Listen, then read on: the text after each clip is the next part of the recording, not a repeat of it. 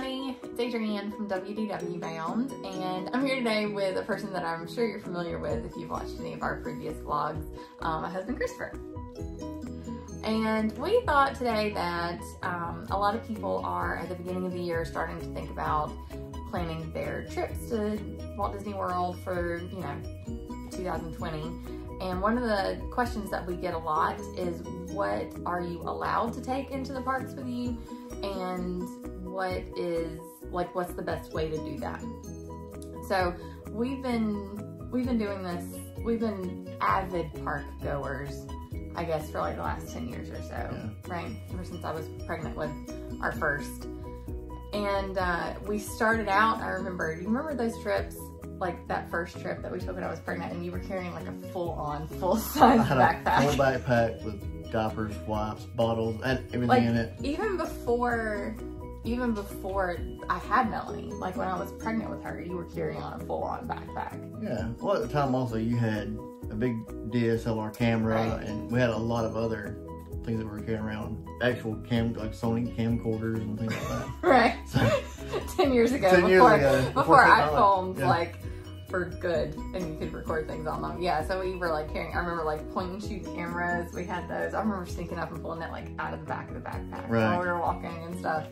So uh, yeah, so we went through like the big full-size backpacks. I remember after our daughter was born, we had a diaper bag and another bag that I carried around. It was like a purse that I'd fashioned into a camera bag because yeah. uh, I was really into carrying in my DSLR at the time. And then we went from that to like just an over-the-shoulder bag.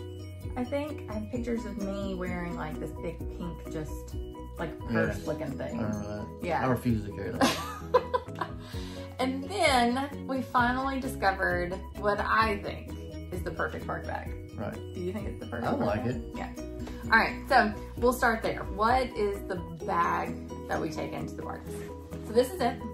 This is a sling back bag from 31 and the little that actual zipper thing. That broke, so we still let off one of your wallets. Right. but that shows you how long we've been using it. Um, we really like this bag for a couple of different reasons. For one, it is like an across the back bag. Cross body bag. Right. So it distributes the weight a little bit more evenly across than like when I was just carrying the shoulder bag because that hurt a lot. Um, that's when I started to know I was starting to get old because I was like, crap, that, that hurts the next day. Um, so this one distributes the weight really, really well. I also, we love the outer pockets. It has a mesh pocket on each side that are really great for carrying like water bottles and any other little things that you need to kind of put in the side. And then the two outer pockets and then the one big zipper inner pocket.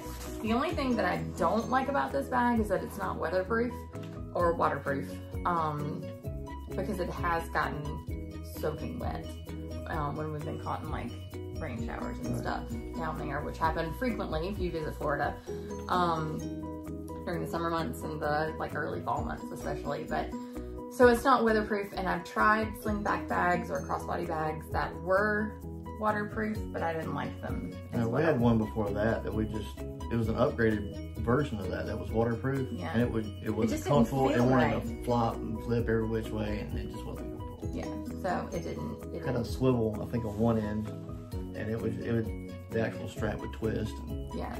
So it just didn't work. No. It just didn't work. So we went back to the tried and true. Um, so what do we take into the parks?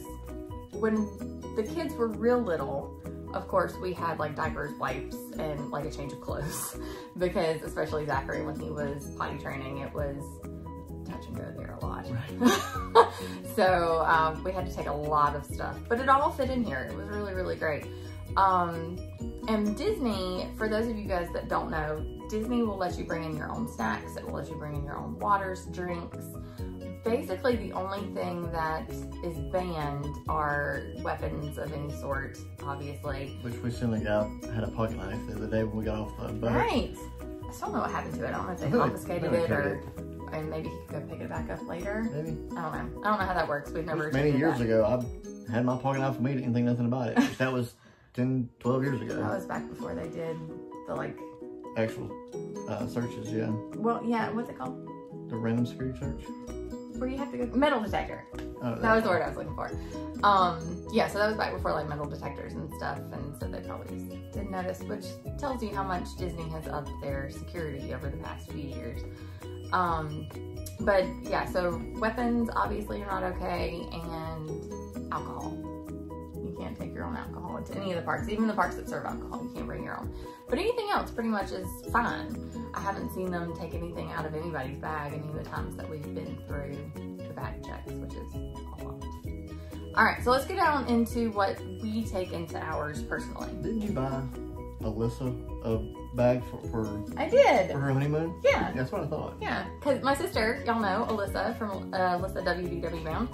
She uh, frequents the parks with us a lot, and she was getting married, and they were doing their own Disney moon, and uh, so she needed her own park bag. So I bought her a purple sling backpack because purple's her favorite color.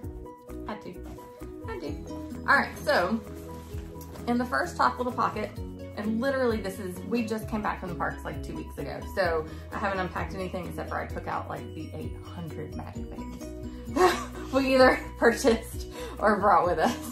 There are still a few in here and we'll go through those in a second. But all right, so in this top little bag, I have an extra hair tie because you never know when yours is gonna break or I wear my hair down in the parks a lot and then I get too hot and it needs to go up. So I have an extra hair tie.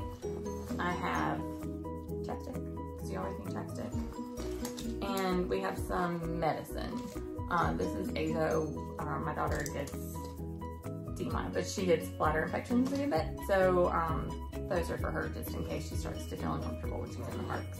So that's what we keep in the top bag. Which her to put some Headache medicine. Yeah. I think we did have some in there, but we have probably taken it out or used it yeah. while we were down there. Usually most people eat horrible over there, so wouldn't hurt to put Pepto in that either. Right. So anything that you, and the baby care centers and the first aid centers carry those types of things, so you'll be able to get those from the park if you need to. But if you're say all the way across the park and you're starting to get a headache and you just don't feel like traipsing all the way back to the front of the park, say Magic Kingdom, it's near uh, Casey's so it's a pretty long walk, say if you're all the way in Frontierland or in the back of Fantasyland or something like that. Or if you're in a restaurant and it happens. Which, this last trip, Zachary had a boo-boo and you had to run him. Because I was out of Band-Aids in right. here. So Band-Aids, another kind of thing just to keep on hand are really, really helpful. Yeah. So first aid kind of stuff is what we keep up in the top pack. The bottom pocket, oh hey, has the Band-Aids from that from the first aid center. So transfers them back up to the front. Uh, well, they're supposed to be. Where they're supposed to be. And down here we have a power pack for our phones and the cord. So like, so we can charge our phones while we're in the parks. They do have the fuel rod things that you can trade out. It's 30 bucks to start and then it's free for now. They've tried to change it in the past, but it's free to exchange the fuel rods in the parks currently. Um, but I just picked this one up from Five Below. It's like five bucks. So, yeah. you know, why not just go ahead and have that with you?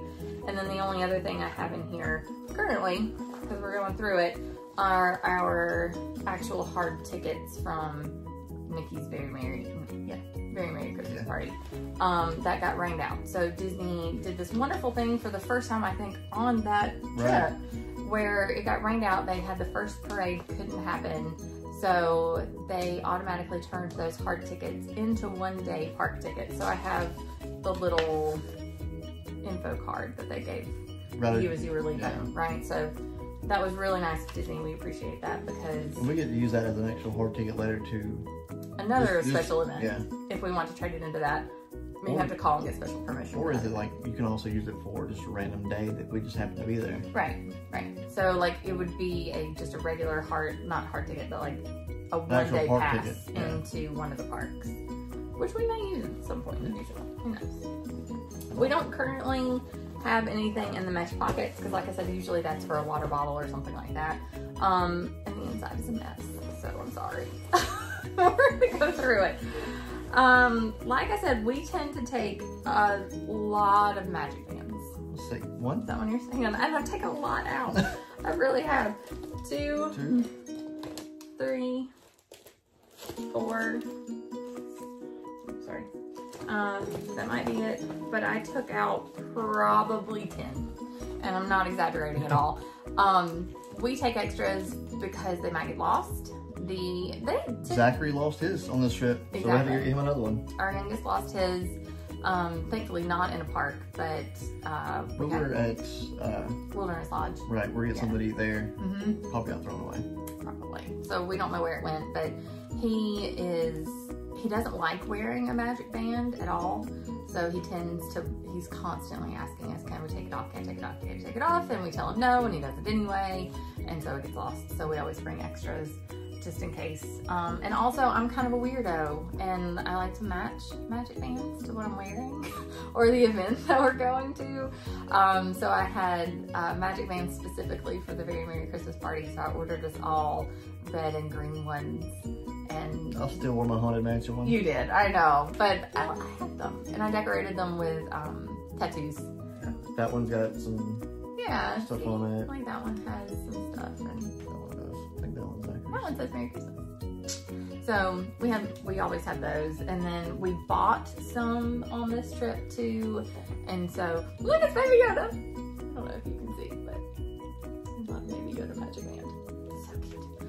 Um, so we bought several and just to kind of keep everything contained when we were packing up to leave, I just put them all in this park bag so that I would know where they were when we got home. So like I said, I've already unpacked a lot.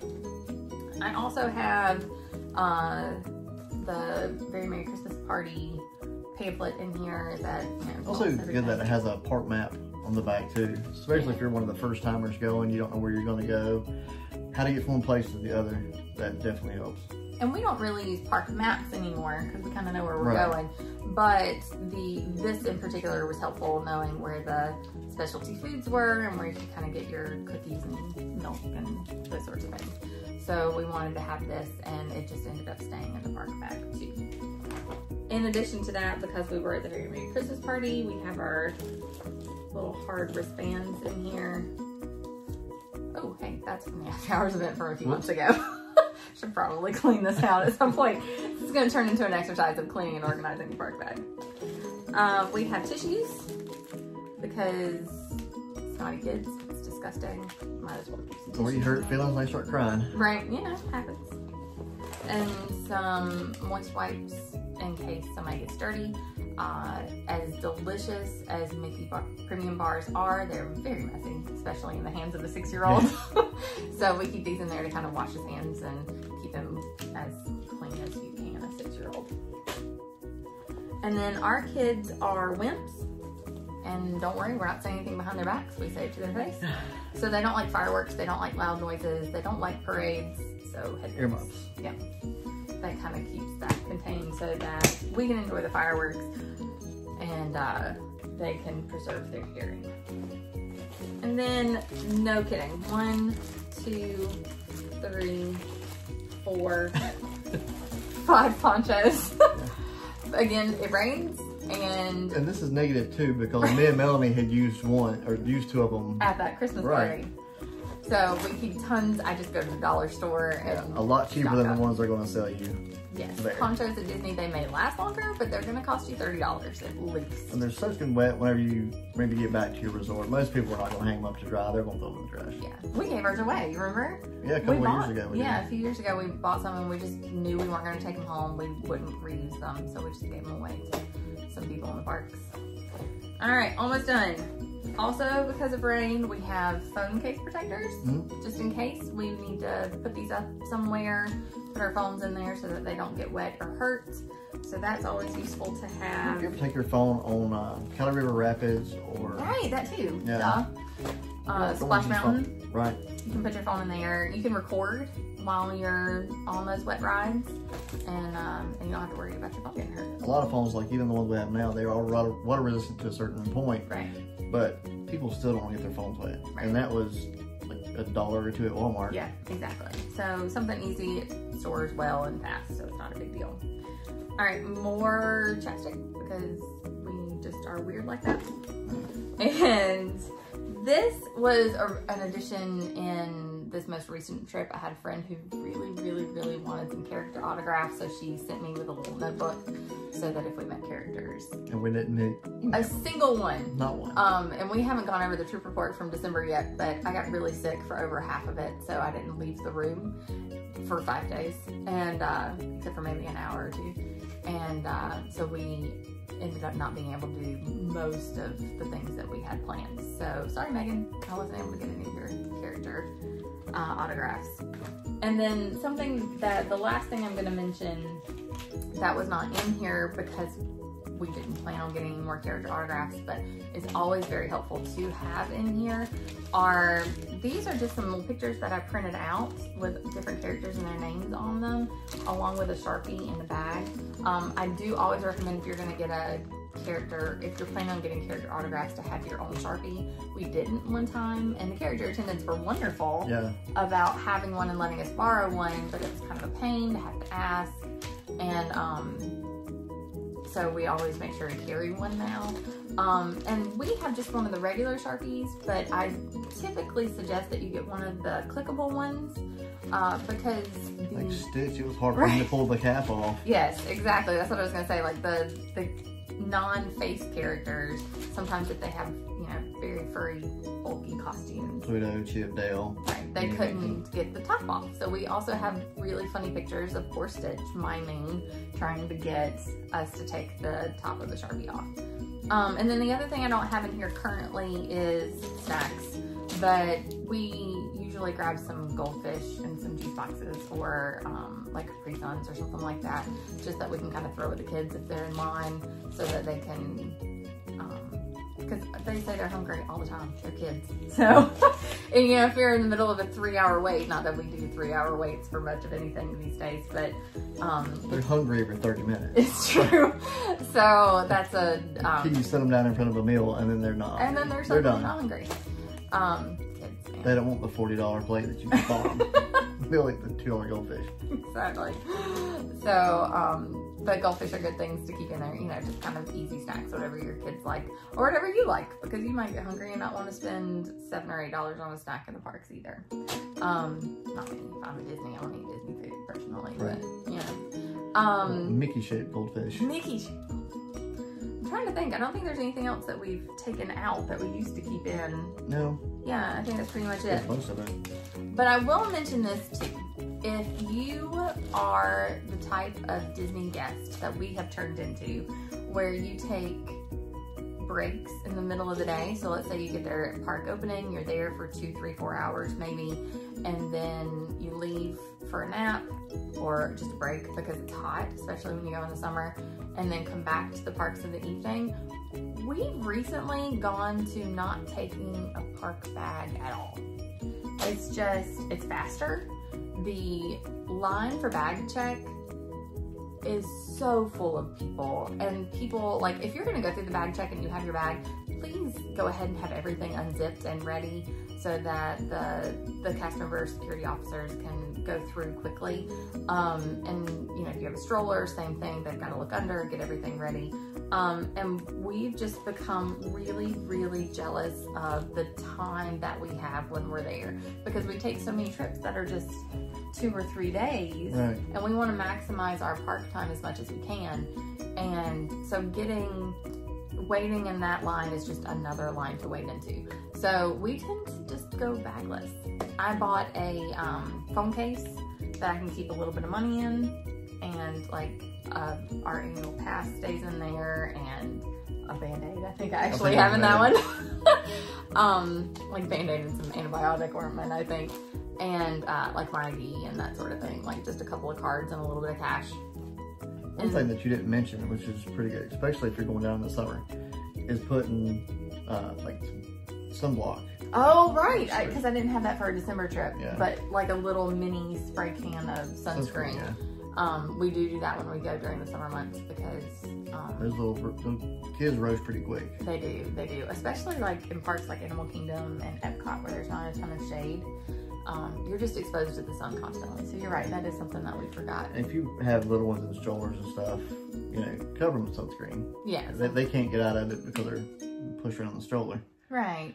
Exactly. Uh, the sunshade. We bought a big sunshade, I think, when the kids were in strollers too, didn't yeah, we? and they fall sure. take, they kicked them off. Yeah, because then you can't see. So, but we try. We try.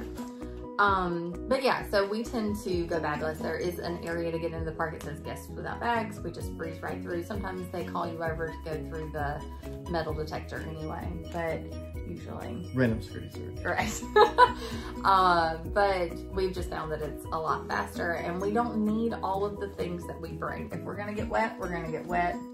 Uh, you know, the power pack, if we're leaving in the middle of the day, then we're gonna charge our phones when we get back to the room anyway. Um, I feel like battery life on cell phones has increased definitely increased so much. Even, I mean, I'm taking pictures and videos the whole time we're there, basically. And, and yeah, the phone battery still stays pretty good. And like when it comes to snacks and drinks, again, I'm gonna be eating Disney food from there. Um, but if it's just for a couple of hours, we more than likely have a meal planned while we're there. If we're thirsty, we'll go to a counter service and get a free cup of water or something to drink, you know, whatever. Um, so we've just found that, and as the more trips that we've gone on, the less stuff we realize we need. Right. And, you know, you're on a ride and where's the bag gonna go? What am I gonna do with the bag? It has to sit at your feet or, you know, it's just kind of awkward. Like when you're on Rock and Roller Coaster, I'm always terrified that something's gonna fly out right. when you do the inversion. So a lot of times, even with the bag, we just keep your car key or something like that in it. Right. And I get now, I've got a little carabiner, mm -hmm. and I mm-hmm. clip it on my belt loop with right. the key fob. There's yeah. no sense in taking a big old wad of keys. So put the key fob on it, clip it on your belt loop, and you don't have to worry about it. So there's a lot of good stuff that we keep in our park bag, and we do take it with us sometimes. I'm not saying yeah. we always go park bagless. Like when we went to the Christmas party, it was definitely helpful. Yeah, because the rain ponchos were in right. there. The the headphones we used those not at the Christmas party but at the Halloween party mm. uh, a few months prior. And it's just uh, so there are good things, and we do take it with us sometimes. But it's just we've just found it's not always necessary. Mm-hmm. And so I challenge you to try it one time. If you're gonna go in for just a couple hours, just try it. How much was the bag when you bought it? The bag itself. Say it's close to 50. You should try to put a link in the description. I will. Maybe I'll do that. Yeah. Thank you, sir. Um, but yeah, so we challenge you. Try try it without a bag sometime. And if you don't like it, that's fine. Go back and grab your bag. yeah, we've we found that we like it. Just being unencumbered and you, I feel like it's just easier yeah. to walk around. But uh, like I said, we do use it sometimes, obviously, because it's And now she has a mess to clean. I do. I'm gonna organize the park bag now. take us time to do that. All right, guys. Thank you so much for watching. We really appreciate it. We hope that if you do like what you just saw, that you'll like the video and subscribe to our channel. And as always, we'll see y'all next time. Bye. Bye.